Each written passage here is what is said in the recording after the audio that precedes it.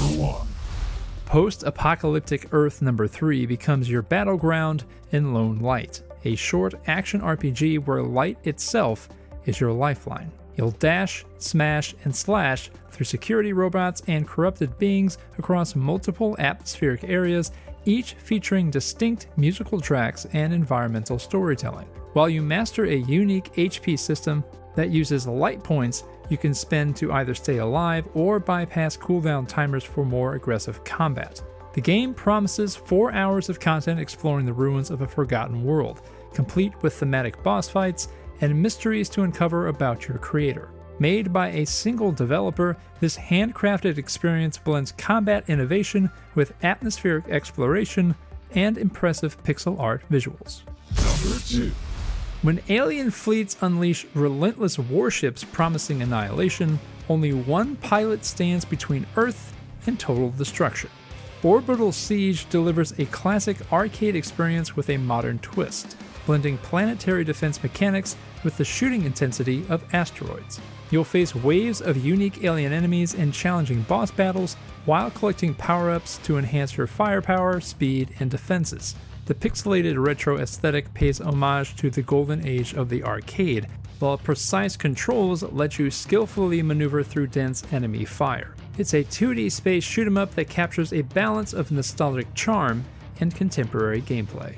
I also want to shout out Zenva for sponsoring this video. Zenva Academy offers easy to follow beginner and intermediate courses for game development with Godot 4, including a fantastic free introductory course that you can check out right now that covers all the basics to help you get started. As a paid Zenva member, you get professional video tutorials, written lessons, and interactive quizzes. You'll work on real projects building games in different genres like open world, RPGs, and first person shooters. And if you have interests beyond the Godot engine, they have courses on Python, Unity, Unreal, and other tools.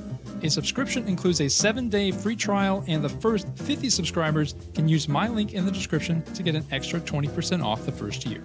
Number 3 What started as a simple art heist has turned into something far more sinister. Serpent at the Vernissage drops you into an abandoned island of paradise where reality bends and nothing makes sense. You're lost inside layered dreams, surrounded by forgotten villas, sentient art pieces, and sunken opera houses. You'll need to navigate this mysterious archipelago on foot, by motorboat or paraglider, while also defending against security bots with whatever weapons you can find. With no map markers or quest logs to guide you, you'll need to piece together clues from notes and emails to find your way home before the islands consume you completely.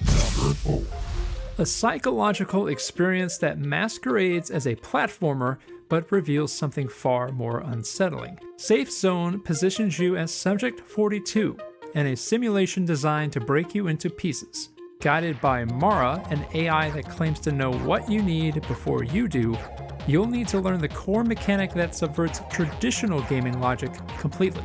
Death isn't failure, rather, it's the only way forward.